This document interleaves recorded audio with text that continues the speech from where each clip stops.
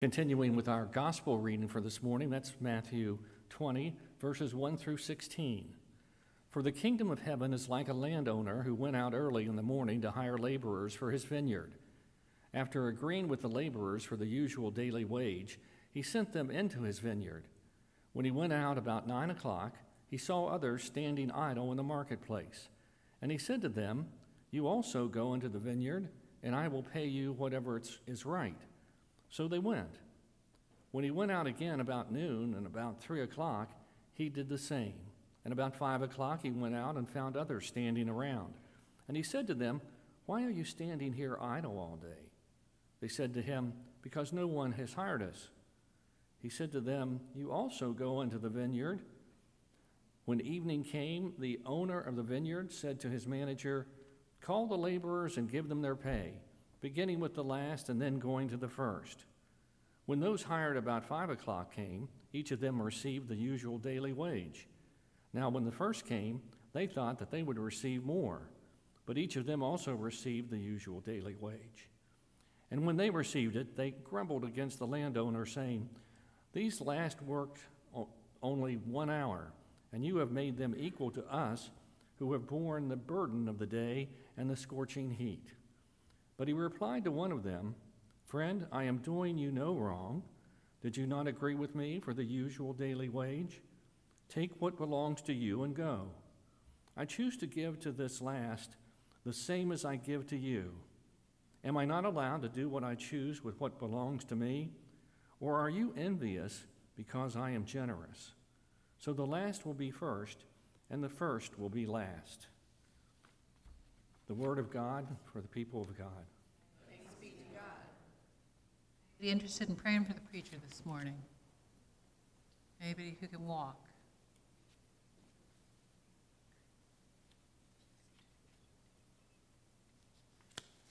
I guess we'll just go on then. I'll go. I'll go. Thank you, John. Let's bow our heads. Dear Heavenly Father, thank you for Pastor Terri. And please bless her here to, this morning as she preaches your word and help the, the words that she preaches make a difference in our lives as we go on uh, this week and, and onward. And uh, we also pray for her health to, to get better uh, so that she can be even stronger in her ministry here at Epworth Church. In Jesus' name we pray. Amen. Thank you, John. Tempted and tried, we're oft made to wonder why it should be thus all the day long, while there are others living about us, never molested, though in the wrong. Farther along, we'll know all about it Farther along we'll understand why. Cheer up, my brother, live in the sunlight. We'll understand it all by and by. Raise your hand if you knew that one. It's Frida again. Frida, oh, we got Carolyn back there. I will never do that song in the bulletin because that really stinks. It's a lousy song, isn't it? Might as well be Amazing Grace that saved a wretch like me. The rest of you are on your own. One of these days you're going to get yours, and I'm going to watch it, and I'm going to laugh. That's really what the song is saying, isn't it? One of these days you're going to get yours, and I'm going to get to sit and watch it happen. Not a great song, is it? But it goes with Jonah. And thank you, John. You're a very good Jonah. You have a fit like nobody ever saw. And um, Jonah, the story pretty much is the same today, isn't it? I don't know where they do it in Baltimore County, but I've heard that there's a place in Baltimore City. I know in Martinsburg, West Virginia, it was at the 7-Eleven at the corner of King and Queen Street. And also in Frederick, Maryland at the Home Depot, that every time you go in the morning, there's a group of people there waiting to work. They're probably undocumented. They're mostly undocumented workers, and they're lined up. Somebody will come along in a truck and say, you, you, you, you, get in the car, we're going to go. They can pay them very little, and they can get a full day's work out of them. Now, you were going to do that, who would you pick out of that crowd of people? I want to really answer. I'm not, it's not one of those rhetorical questions. If you're going to pick somebody to work for you during the day, who would you look for in this crowd of men standing there working or looking for work? Would you pick the older guys, the ones who are my age, maybe with a rollator like mine, bent over? No, you'd pick the young, strong guys, right? That's what would happen here because it didn't say, you know, when they said, when the vineyard owner saw them standing idle, he said, Why didn't you, why are you standing there idle? And they said, Nobody picked us. No one has hired us. Same thing that happened there, right? But what happens at the end of the day when they're all paid? This is where we all get a little stung by this one, isn't it? Because what happens when the workers who have been there all day look at these guys who came and worked an hour, two hours, what do they say? Not fair, it's not fair, it's not fair, just like Jonah, it's not fair. You said you were going to kill those Ninevites. Uh, I want to die, I'm so mad. That's pretty mad, isn't it? Because somebody didn't get zapped. Now let's look at the story of Jonah. Everybody thinks it's a kid's story because there's a big fish in it. It's not about kids at all. Jonah is sent to Nineveh by God. Nineveh is not a Jewish city by any stretch of the imagination. They're living dissolute lives. They're, they're a mess. He says they don't even know their right hand from their just-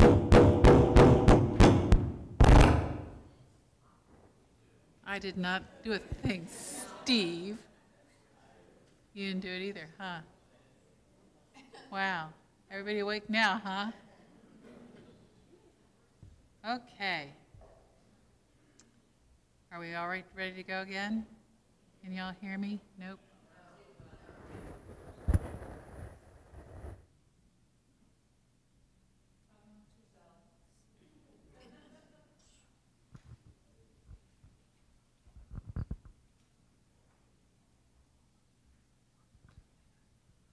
I gotta get back on my track. My train derailed up here.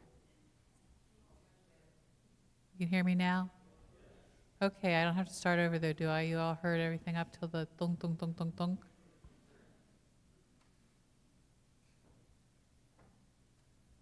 All right, I gotta think where I was. So what happens when you preach without the paper in front of you? You gotta remember where you are in the paper. And the paper is gone and the thought trail rains, train derails. Nineveh, Nineveh, that's right.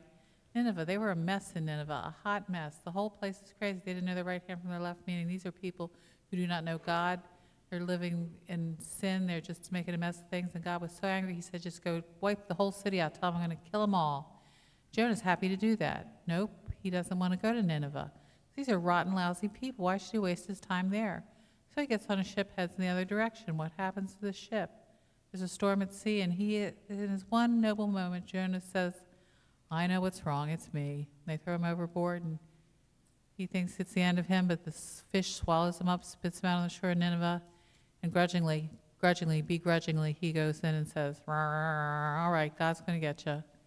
Then he thinks he's going to get the great pleasure of watching these people die.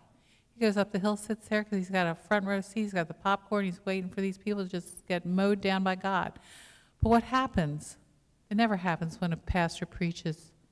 They repent of their sin. They listen to the preacher. My golly. Should be a great moment. Jonah should say, Yes, Lord, yes, Lord, thank you, Lord. They listen to me. But he says, What do you mean you're not going to kill him, Lord? I want to die. I'm so mad at you, God. I want to die. God says, What? What? And Jonah's, we read the end of the story today, doesn't he? Sits there and he's mad and he wants to die. He's so angry. God gives him a little bush that grows up so he has some shade, and then God kills the bush. I love this story. If I were God, I would just fry Jonah, which is a good thing I'm not God. I would just said, zap. There you go, boy. You're so happy everybody else is dying. I told the kids up here, didn't I, that I have a problem. Sometimes I'll say to people, Jesus is going to ask you for an explanation one day. Get it ready now. That's not a good thing to do, but I have done that. I have said that to people, usually on the phone who are trying to cheat somebody out of something else. I'll say, get your answer ready because Jesus is going to ask you about it one day, which is my way of judging them, which is not a good thing either. So we have that story with the story of the vineyards, the vineyard owner and the, the people working for him, the ones who worked all day in the hot sun laboring, picking those grapes and cutting the vines and doing all those things. And they think when they see these guys getting paid so much for an hour work, they think, ooh, we're going to get something real good, aren't we? We're going to get five times what they get, and they get the same amount. And what do they say?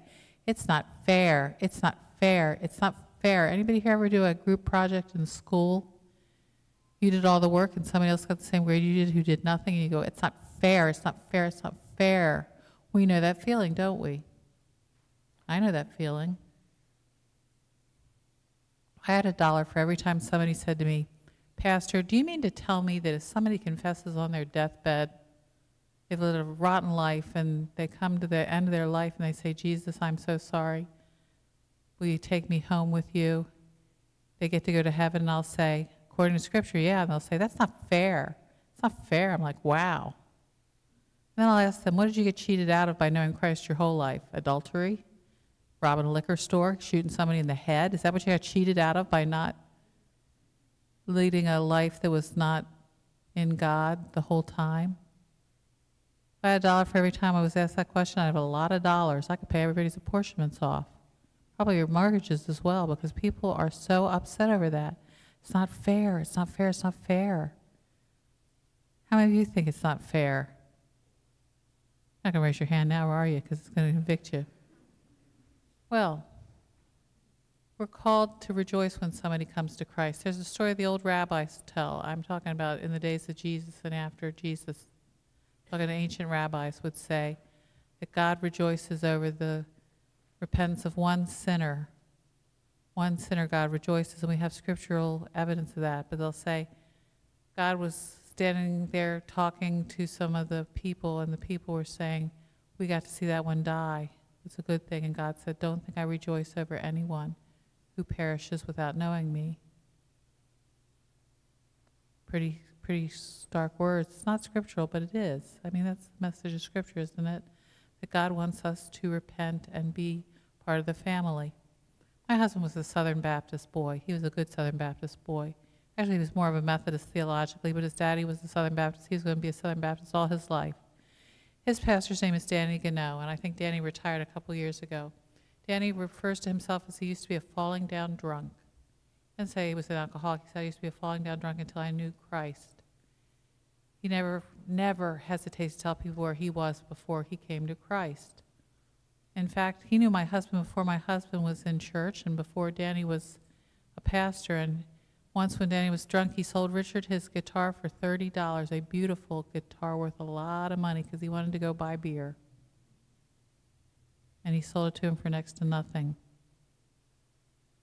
But Danny says, now heaven is an interesting place. He says, there's going to be doors into heaven, and one door is going to say Southern Baptist Center here, and they're going to say, look at us, we get to go in first. Next, that's the American Baptists, and Southern Baptists are going to look at them and say, they're going someplace else. And they're going to look at the Methodists and say, well, we know where they're going. They're going down to the basement, this place. Catholics, they're not even going to get in probably because their, their door's so far around the back, nobody can even see where it says Roman Catholic. He said, and then they're all going to go in and realize they're all in the same place. They're going to look at each other and say, wow, what are you doing here? I think we're like that, aren't we? Picture the person that you think may not be there when you get there. Or picture the person that you will not get into heaven with because you don't want to be there with that person. Because there are people who, like Jonah said, I'd rather be dead than be in heaven with you. There are people who say things like that. We're called to rejoice when anyone goes to heaven, aren't we? When anybody is, is with us in the faith, we're called to rejoice at them, even if they treated us wrongly. We're not supposed to say, well, dag on it, you're going to get into. That's not fair. It's not fair. It's not fair. We're supposed to say, yes, Lord, thank you, Lord. Thank you for your grace shown to this one who once was lost and now is found. Like I say, amazing grace, how sweet sounds the wretch like me. The rest of you are on your own. But me, I'm saved. No, we're called to rejoice when anybody goes to Christ. Which brings us to this day. This is not the lesson for today. Lambert and I sit and we read the lessons together every week, and this was last week's lectionary, but we thought as Matthew gets closer and closer to the, the time when Christ is going to suffer and die, which is when we get to Advent. It's really strange, isn't it, that we get to the end of the Gospels and we look at when Christ is about to be born, we look at the stories of Christ facing his own death.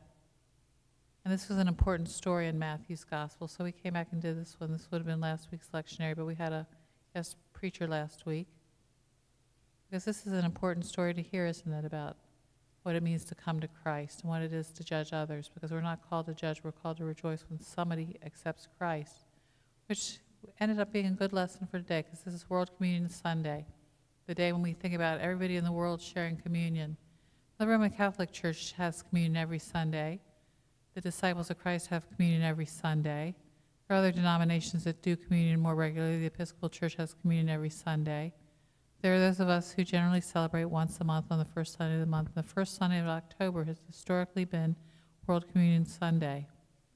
Yesterday was World Communion at the church because the people who were here yesterday, I counted probably between four and 500 people who came on this campus yesterday. People of all different colors, all different backgrounds, all different languages. For people, and Mark is here this morning. I'm glad Mark's here because we want Mark to be on SPRC this year. Uh-huh, uh-huh, uh-huh. Mark is fluent in Spanish. We had people here yesterday who could not speak any English because they only spoke Spanish. Their children interpreted for them. We had people here from all over the world. We had people from all over Asia here. We had people here from Africa. We had people here from Essex. Wow, that's pretty far, isn't it, to come? Essex. They came all the way up here because they saw. I had families come to me and say, Thank you so much for doing this because I couldn't afford to take my kids anyplace. I couldn't afford to take my kids to the state fair, but I could bring them here and they could have games and play and have a good time. That's what people said. They said, thank you. And one man came up and said, where can I make a donation? I said, it's not necessary. He said, this had to cost you a lot. I said, oh, we're going to lose money today. We lost money yesterday. But we knew we were going to lose money coming into it because what we wanted to do was provide something for people, not expect them to pay for it all. And this man said, I want to make a $100 donation to your congregation right now. I said, if you want to do that, that's fine, but you don't have to do that. People are hungry for fellowship. They're hungry for community. They're hungry to belong. We've got to make them feel welcome no matter where they're from, no matter what their background, no matter what their sin. Because we're all sinners in need of grace. Amen? Oh, please say it like you mean it. You're a sinner in need of grace just like me, right? Amen. We're called to have a different view. We're called not to be like Jonah and say, I'm so mad I could just die. If you're that mad, get over it. That's all you can do. Give it to Jesus and get over it. Move on. I said this in my first Sunday sermon here. Sometimes you just got to be like a Disney princess and let it go. Because we've got to love everybody that is out there in the world, no matter what they've done, no matter who they are, no matter what you know about them. And if they come to Christ, it's not up to you to judge them and say, no, we don't want you in here with these nice, fine looking people in this congregation. We want everybody here. I used to serve First Church in Hyattsville, Maryland, which was the most diverse church in the annual conference.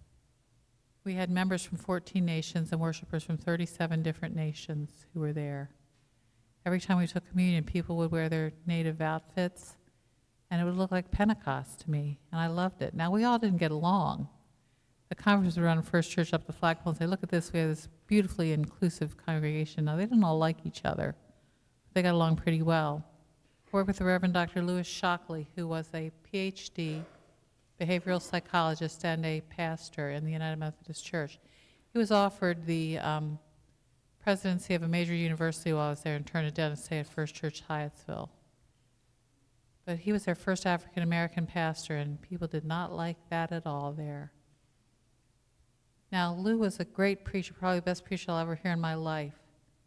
He changed his preaching style to preach to a predominantly white congregation, which it still was with all those folks in there. He changed his preaching style because Lou could get riled up preaching, but he preached very, very, very calm sermons. He would preach a different service sermon at both services, and I say to him, "How do you do that every week?" He said, "I just take one of my old sermons and cut it in half because I don't preach an hour here because white people don't like an hour-long sermon." I hear an amen on that one. And he would visit everybody who was sick in the hospital. He'd hold their hands. He would love them. And then when they died, they'd say, Do not let that black man preach my funeral. That's what they would say, again and again and again. It broke my heart. Lou was one of the kindest people I've ever known. He and I loved to cook. We both were, were loving cooking together, and we'd cook together often. Thanksgiving was coming. He said, How many people are you cooking for this year? I said, Only 14, because he had like 40 or 50 people coming to his home for his meal. And I said, I have a confession to make, Lou. I'm not making my own pie crust this year. And he said, Oh, say it ain't so, girl. Say it ain't so. I said, I can't do it, Lou. I got too much going on. And I said, I'm going to use Pillsbury already pie crust. And he said, Oh, no, no, no. The day before Thanksgiving, 6 o'clock in the morning, there was a knock on my door. And I opened the door, and the Reverend Dr. Louis Shockley, who was offered the presidency of a major university in the United States, was standing there with six handmade pie crusts for me because he said, I couldn't sleep last night thinking about you and your tired old store-bought pie crust. I had to make you some. That's who he was. He was the most loving, giving man I've ever known in my life, and people did not want him preaching their funerals because he was black. It's the only reason. So we got some work to do in the world, don't we? We got some work to do in this congregation to make it more accessible to people. If we had the people who were at our festival yesterday here, it would be a different looking congregation. It would be one that looks like the kingdom of God with people of all different colors and ages and ethnicities. There were so many little toddlers here yesterday, I could not count them all, running amok around here. We got kids in this community growing up without knowing the love of God and Jesus Christ because they are not in a church.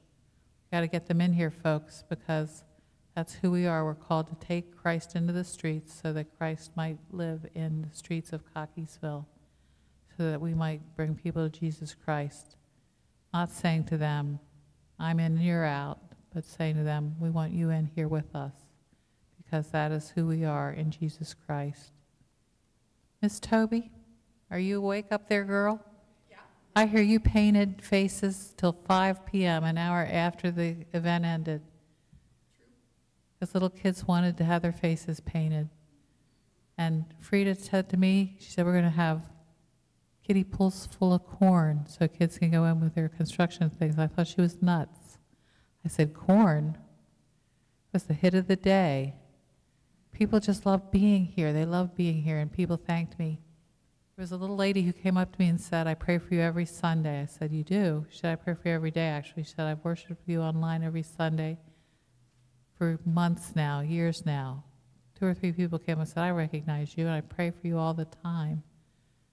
There are people in the world who need us. There are people in the world who need Christ, and they want to see Christ in us. So we can either do a Jonah and say, it's not fair, I want to die, rather than be here with you, or we can go into the world with the message of Christ and say, in the name of Jesus Christ, you're part of us. We want you here with us. Please be with us. Amen. Amen. Amen. Let us join together in singing.